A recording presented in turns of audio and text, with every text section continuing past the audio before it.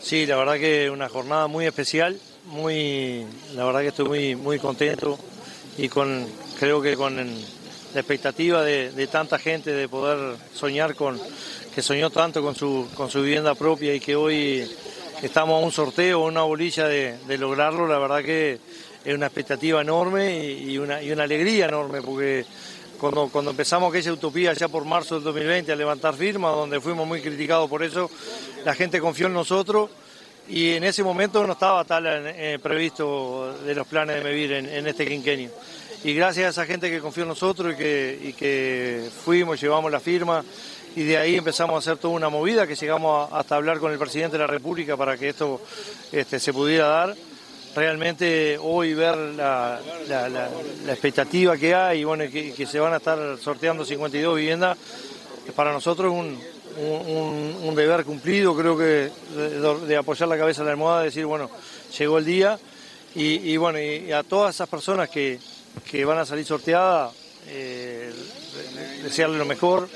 que, traten de, hacer lo mejor posible también, porque esto es un trabajo en conjunto con Mevir, o sea, Mevir no le hace la casa, tienen que trabajar también para, para tener su casa propia, y a toda aquella otra persona que no salgan sorteada, que tengan la, seguridad que mientras que nosotros estemos trabajando acá en el, municipio vamos a seguir luchando para que, para que se sigan haciendo más, más eh, planes de vivienda para tal. Primero el plan nucleado y también eh, vivienda dispersa. Exacto, no solo el plan nucleado, sino también vivienda dispersa, tanto en Tala y en Bolívar, que en Bolívar también ya estamos hablando con eh, autoridades de la Intendencia para,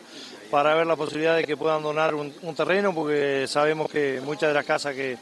se presentaron allá eran terrenos inundables y sabemos que vivir en esos terrenos no, no pueden construir. Entonces estamos tratando de, con, la, con la Intendencia también a ver si, si nos pueden donar un terreno para que, por lo menos para 8 o 10 viviendas, para que la gente pueda tener y quedarse en, en Bolívar y no, la idea no es que no se vayan por otro lado, la idea es que, se puedan arreglar en, en, su, localidad. ¿El plan nucleado en qué terreno, dónde está ubicado el terreno donde se va a realizar este plan nucleado? Bueno, eh, estamos, el plan nucleado va a ser en la finalización de la calle Avenida Artigas, estamos paralelo hacia el norte, Estamos más o menos unas 6-7 cuadras, o sea que estamos dentro de un, rango bastante cercano al, centro. Este, y bueno, si, si van por, por 18 es llegar al fondo también, ahí casi eh, doblan a mano izquierda en la última, en la última cuadra y ahí a la derecha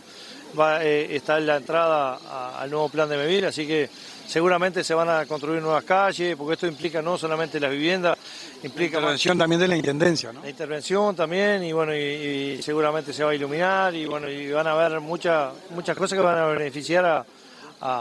todo lo que es la zona, y bueno, también al comercio local, porque